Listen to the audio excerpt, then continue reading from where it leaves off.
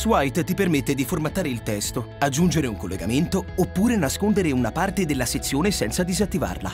Una volta logato a Swite, accedi alla gestione del sito. Clicca su Modifica sito. Posiziona il cursore sulla sezione che vuoi modificare, cliccaci sopra e digita o incolla il testo. Poi conferma cliccando sull'icona della spunta.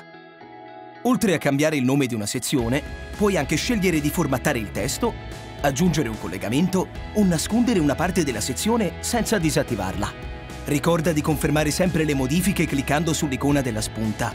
Per ogni testo presente nell'area di modifica, puoi visualizzare la sorgente del testo stesso, ovvero da dove il testo è stato recuperato. L'icona matita indica che il testo è stato personalizzato. L'icona Social indica che il testo è stato importato dal social collegato a Swite. Ad esempio, se il testo è stato recuperato da Facebook, apparirà questa icona. Clicca sull'icona dell'occhio per decidere se mostrare o meno il testo sul sito. Infine clicca sulla spunta per salvare le modifiche eseguite al testo. E poi clicca su Salva per confermare tutte le modifiche. Swite è un sito web responsive. Le operazioni mostrate in questo video puoi eseguirle anche da dispositivi mobile.